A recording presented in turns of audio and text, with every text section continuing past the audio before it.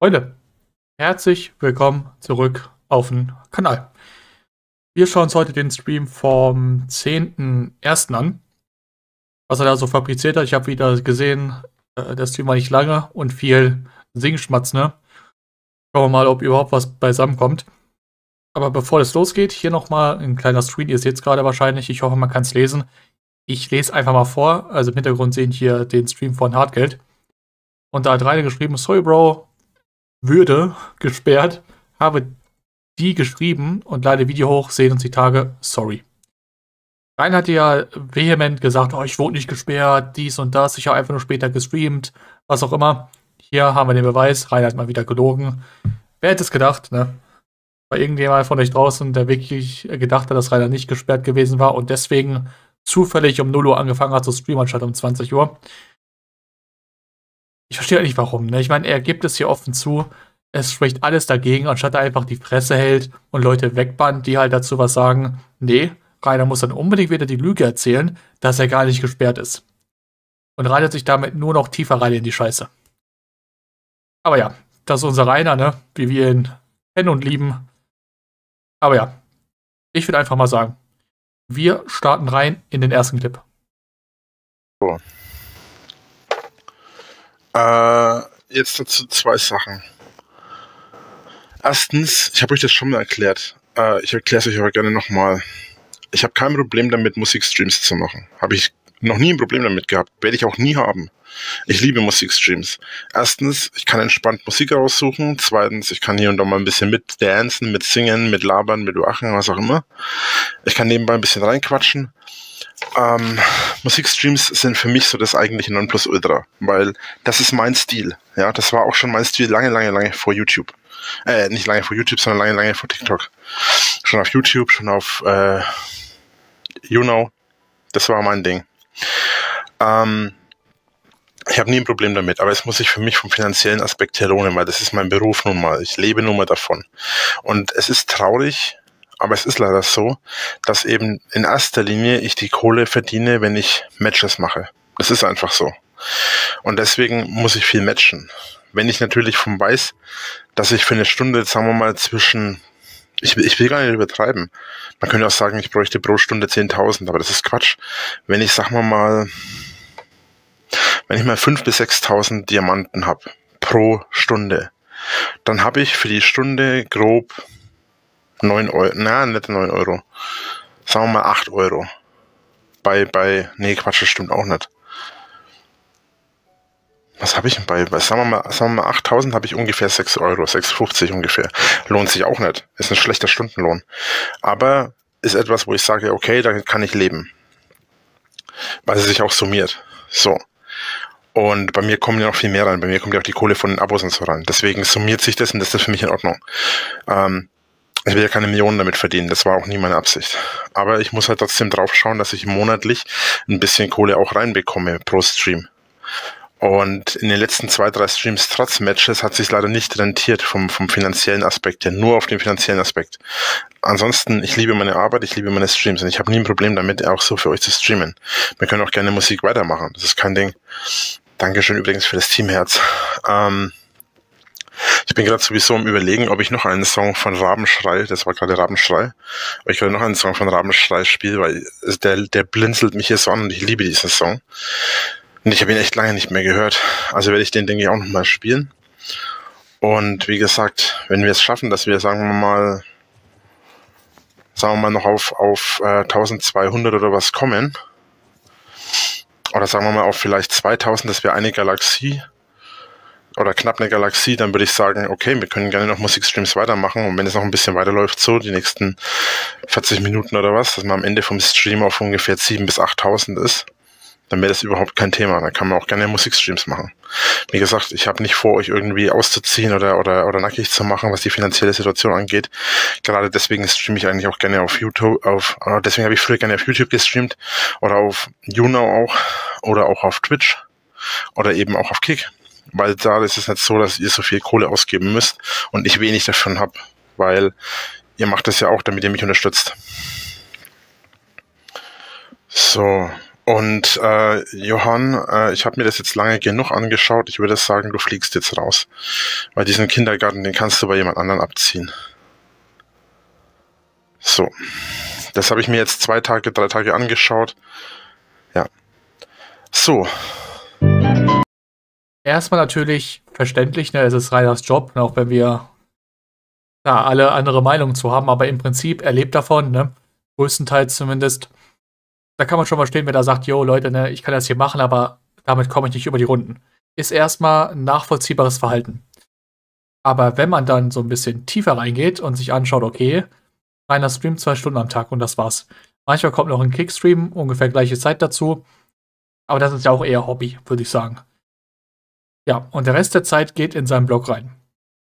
Ich finde, wenn Rainer das auf die Stunden runterrechnet, ist das ein bisschen Quatsch. Weil ich meine, welcher Selbstständige, äh, erst recht, wenn er so ein Kleingewerbe hat und so weiter, rechnet sich den Stundenlohn runter und denkt, Alter, das ist geil. Ich glaube keiner, oder? Und Rainer, wie gesagt, streamt zwei Stunden am Tag. TikTok. Ohne Matches, diesmal, ne, diesmal hat er nur Singschmatze gemacht und er will sich dafür halt auch bewerfen lassen mit Geld. Wieso auch immer er denkt, dass er da ein Anrecht drauf hat, weil es ist halt kein Content. Ja. Du kannst auch einfach ein Radio machen, so ein Metal-Radio, wo dann irgendwann mal ein Schlagersong zwischenkommt und hast du genau das Gleiche.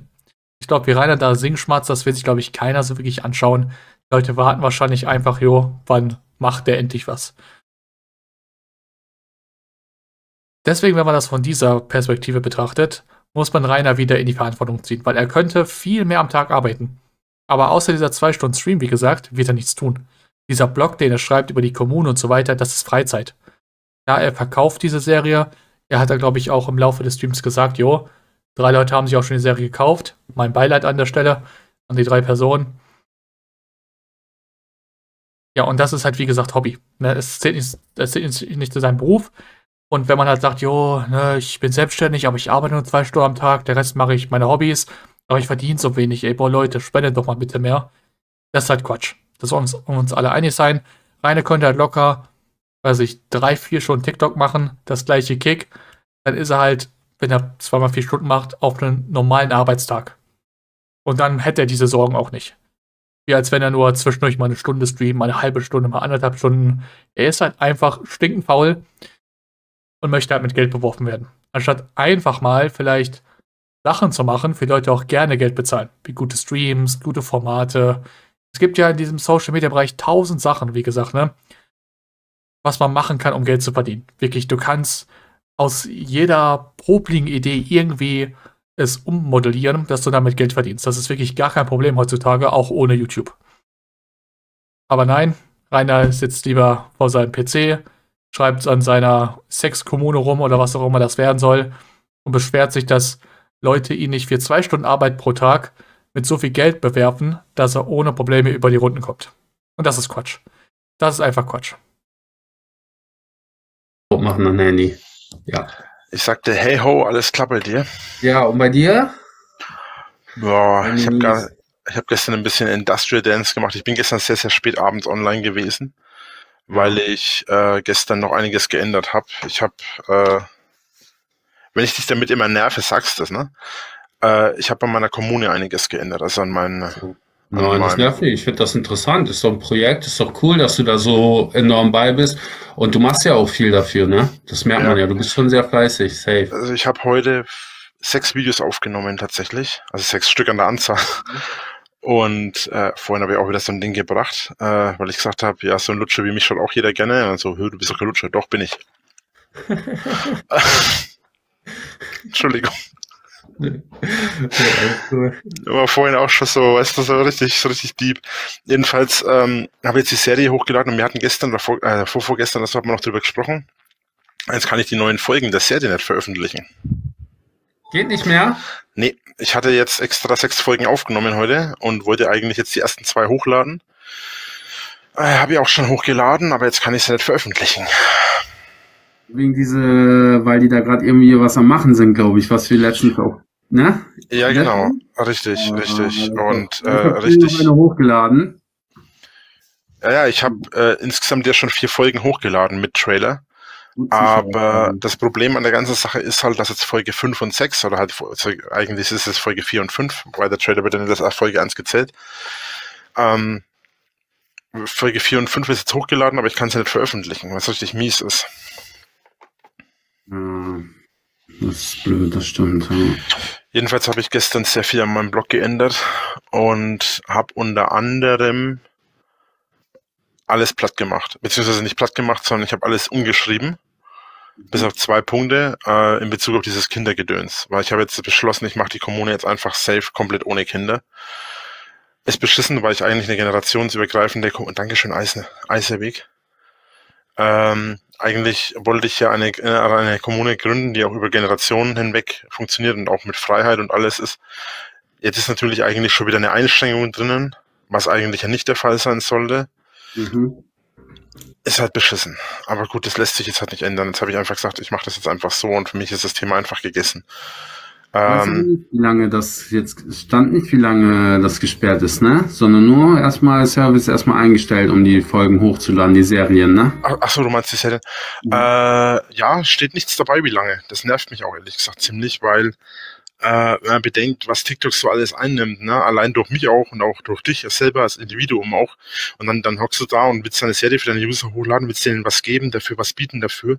Zumal ja drei Leute sich die Serie schon gekauft haben und die jetzt auch darauf warten, dass was kommt und ich nicht hochladen kann. Was ist das denn? Also ich hoffe, dass das zeitnah jetzt funktioniert. Erstmal immer nett, dass Rainer ihn fragt, jo, Hartgeld, nervt dich das eigentlich, weil ich die ganze Zeit nur Scheiße da war? Er sagt, nee, er findet es interessant, wieso auch immer. Ich dachte zuerst, dass er am Anfang darüber redet, dass er äh, gesperrt ist auf TikTok. Er war ja gesperrt, haben wir am Anfang des Videos drüber gesprochen. Und deswegen so eine Upload-Sperre hat, wie auf YouTube. Ne? Wenn du gestrikt wirst, eine Woche nichts hochladen. Zwei Strikes, zwei Wochen, drei Strikes, Tschüssikowski. Ich weiß nicht genau, wie es auf TikTok ist. Ich glaube nicht, dass es ein Systemausfall bei denen ist, weil ja, das wird keine paar Tage so bleiben. Ich denke mal, dass Rainer wirklich einfach ja, gesperrt ist und sich jetzt beschwert und ein Anrecht darauf haben soll, laut seiner Meinung natürlich, dass TikTok sich da so schnell wie möglich drum kümmert, falls es ein technischer Defekt war und nicht wegen seinem Strike, weil er ja der Seite auch viel Geld bringt und Tatgeld auch. Also Rainer, ich will dich ja wirklich nicht auf dem Boden der Tatsachen aufschmettern lassen. Aber ich glaube, ob du auf der Seite bist oder nicht, ist TikTok sowas von scheißegal. Ich glaube wirklich, 99% der Leute, die da matchen, sind TikTok, ist TikTok scheißegal. Ne? Die machen, glaube ich, das meiste Geld, na klar, ne? Über diese 99% sage ich einfach mal, oder sagen wir mal, 90% ist ein bisschen realistischer. Kommt auch viel Geld bei rum, ne? Gar keine Frage. Aber wenn man sich mal diese richtig dicken Matches anschaut, wirklich, wenn wirklich die Creme de la Creme von TikTok, wenn man es so nennen möchte, aufeinander trifft und da wirklich Millionen von Punkte hin und her flattern, das ist das, was TikTok interessiert. Und nicht, ob da irgendein Mettler, weil sich am Abend 30 Euro in die Kasse von TikTok spielt. Das juckt ja am Ende des Tages nicht. Ja, und dann meinte er ja, er hat viele Folgen gemacht schon, ich glaube sechs Stück oder so. Ich glaube, wie viele kennen wir? Folge drei, glaube ich, haben wir schon gesehen. Also eins bis drei. Also drei neue Folgen. Bin mal gespannt, was er da so ansprechen möchte. Und er sagt wieder die Thematik mit den Kindern. Ne? Er hat ja schon gelogen mit der TikTok-Sperre, dass er gar nicht gesperrt war. Ne? Haben wir am Anfang, wie gesagt, drüber gesprochen. Und das wirft natürlich auch ein schlechtes Licht darauf, dass er auch über der Sache mit den Kindern gelogen hat. Ich kann mir, wie gesagt, vorstellen, ne, in den Kommentaren war es bisschen geteilte Meinung. Rainer selbst eingesehen, Rainer ähm, lässt es weg, um es später wieder zu benutzen. Rainer wurde gezwungen ne, von Google, was auch immer. Die Meinungen waren da sehr gespalten unter den Kommentaren, in den Kommentaren. Aber ich glaube immer noch, dass er von Google einen drauf bekommen hat. Weil das, wie er da Sachen schreibt, Alleine schon der Satz, ja, die Kinder können doch selbst entscheiden, ob sie nackt rumlaufen wollen, ist, finde ich, in der Kommune, wo Erwachsene, vor allem Männer rumlaufen, die Rainer vorher nicht kennt, die nicht schon seit Jahrzehnten zusammen wohnen, zusammen, wo man sich ein bisschen, ja, soll ich sagen, kennt. Kann man so sagen, ich denke schon. Das ist einfach, allein das geht schon zu weit, finde ich. Aber ja, Winklerglück ist da. Wer weiß, was noch so alles passiert. Und dann am Ende natürlich reiner professionell WS. Ich weiß nicht genau, ob es der Bot war von Inge, der am Ende Metal aufgesagt hat oder Reiners Internet. Ich hoffe Reiners Internet. Aber ja. Und er erwähnt da dann noch, ähm, dass er jetzt viel umgebaut hat und so weiter. Das ist natürlich wieder die Frage in Richtung Chemnitz. Ne? Ich weiß, ne, ist ein bisschen Schnee von gestern. Aber mich lässt dieser Gedanke einfach nicht los. Ich glaube, er war da. Ich bin mir auch ziemlich sicher. Ich habe mir das Streaming-Setup jetzt nicht so ganz angeschaut, also mit Vergleichen. Es fehlt mir gerade einfach die Zeit ein bisschen. Aber vielleicht hat es irgendwer von euch schon angeschaut. Habt ihr irgendwelche Veränderungen gesehen in, in seinem Setup? Lichteinfall, was auch immer. Er hatte ja vorher, also vor der Chemnitz-Theorie, als er noch in der P-Stadt anscheinend war, äh, diese Dachschräge. Die war dann auch irgendwann weg. Und da wusste man zum Beispiel, Jorein ist irgendwo anders. Sowas müsste man halt auch suchen, ne? Ja, und das war's dann auch schon, ne? Diese beiden Clips. Der Rest war Singschmatzende und ja, eigentlich nur Singschmatzende mit sehr wilden Sachen dazwischen. Aber er erwähnte, äh, dass er ein Industrial-Video gemacht hat. Und ich finde, wir haben alle genug Zeit. Das Video geht nicht allzu lang, deswegen ich knall euch das hinten dran. Ohne Musik, ne? Ihr seht ihn nur.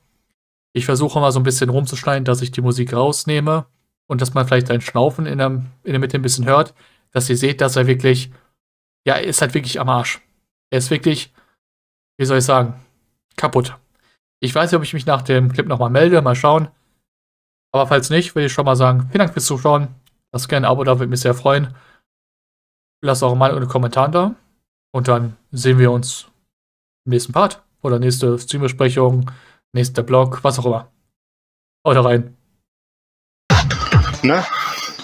Hüftbewegung vor allem. Und dann die Arme.